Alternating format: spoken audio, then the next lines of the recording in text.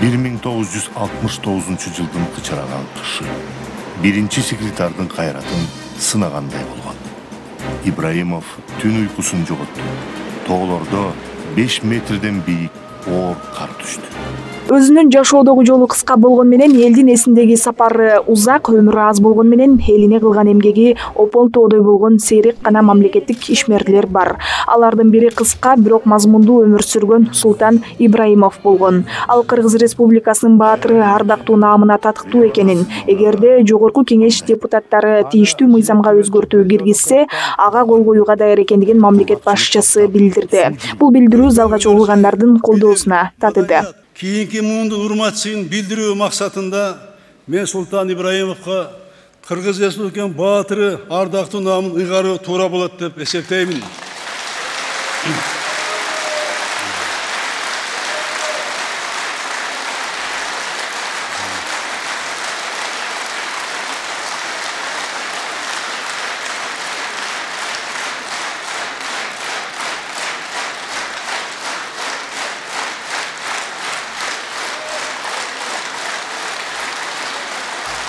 рахмат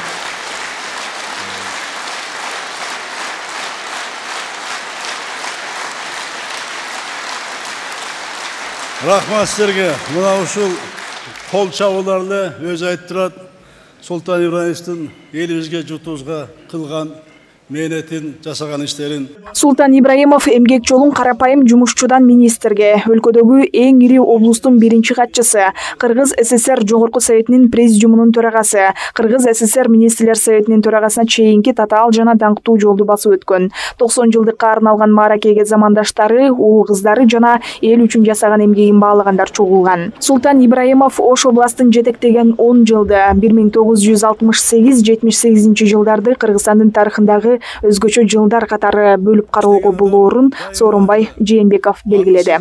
Кыргызстандын жарымын түзгөн азыркы үч областты камтыган ош областында зор ийгиликтер жаралды. Айыл чарбасы кескин өнүктү. Өнөр жай тармагында ири стратегиялык ишканалар курулду. Турак жай фонду жакшырды. Маданий жана социалдык объектилер ишке берилди. Элдин билимге ден соолукка жана маданиятка болгон муктаждыгы ыраттуу чечиле баштады папан токтогул суу сактагычтардын курулушунда суу маселесин чечүүдө султан ибраимов каарман эмгек жасады. Жолдор көпүрөлөр курулуп мал киндиктүү жерибиздин жайлоолору кеңейди өлкө башчысы ошол он жыл облус үчүн кылымга тете жылдар болду дейт ал мезгилди эстегендер календардык бир миң тогуз жүз алтымыш сегиз жетимиш сегизинчи жылдарды айтпай султан ибраимовдун жылдарында деп анын ысмын сыймык терең урмат менен айтышат демек ал бүтүндөй бир тарыхый доордун символу болуп калганы баса белгиленди кыргыз өкмөтүн жетектеп турганда да султан ибраимович элет жерин баардык областтарды райондорду чарбаларды өнүктүрүүгө ынтызар болгон эң башкысы эл үчүн кызмат кылган курулуш иштерин жасоого айрыкча дилгир болду өлкөдөгү ири курулуштар анын ысмы менен тыгыз байланышкан ал кесиби боюнча мелиоратор болгон бул суу башы бол деген кесип.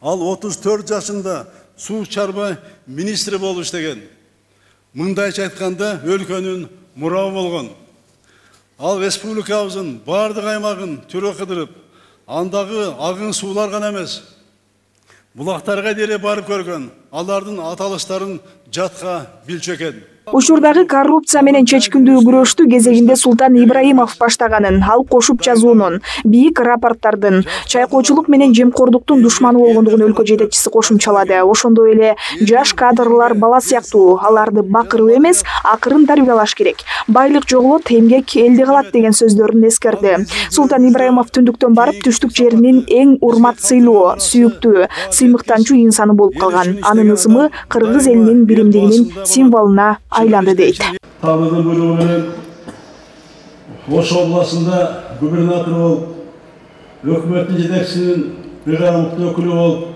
алты жылга жакын иштеп келдим элге кыдырып элге чыгып элге жолукканда кайсы район болбосун айыл болбосун ошол улуу муундагы адамдар аксакалдар ошо жетекчиликтин үлгүсү ушу султан ибраимов деп айтышы. Белгилүү мамлекеттик ишмер султан ибраимовдун уулу эрмек ибраимов да атасынын жолун улап өмүр бою өлкөнүн тышкы саясат тармагында эмгектенген. Атасын эскерип жатып эң биринчи кезекте адам болууга үйрөткөнүн текебердик кайдыгерлик деген сапаттар ага тиешеси жоктугун айтат Когда отец погиб, мне было 15 лет. мага он беш жаш болгондо атам каза тапты. Ошондуктан мамлекеттик кызматкер катары ал жөнүндө эч нерсе айта албайм. Азыр гана алган тажрыйбамдын негизинде. Анын жасаган эмгектерин өлкөнүн түштүк аймагын өнүктүрүүгө кошкон зор салымын билип отурам. Жакында үй бүлөлүк архивден ош облусу жөнүндө китепти таап алып түрдүү тармактар боюнча иштеген иштерин көрүп таң калдым. Дал ошол темпте өнүгүү жолуна чөбүз деп үмүт кылгандан башка арга жок.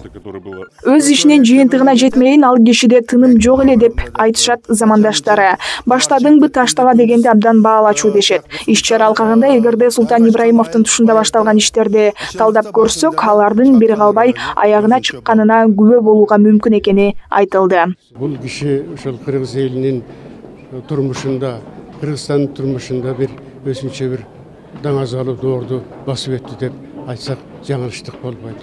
Эми ал кишинин элеси түбөлүккө кыргыз элинин жүрөгүндө сакталмакчы токтогул кесинин курулуусунда бул киши шахталарда да көмүрлүү ошол шахтерлор менен бирге шахтага да түшүп ошолор менен кошо иштешип алардын абалын сурап турчу. Ибраимов эки жолу ленин октябрь революциясы эки жолу эмгек кызыл туу орден жана медалдар менен сыйланган. Аны бир миң тогуз жүз сексенинчи жылдын төртүнчү декабрында ысык көлдүн жээгиндеги мамлекеттик дачада атып кетишкен. султан ибраимов элүү үч жыл гана өмүр сүрдү. Жайнагүл талас кызы нурдан карыпбеков пирамида. адамдарга кызмат кылуу максаты менен жашаган экен. Биздин сөзүбүзгө ишениңиз. Москвадан келген тергөөчүлөр эмне айтып жатышканын жакшы билишет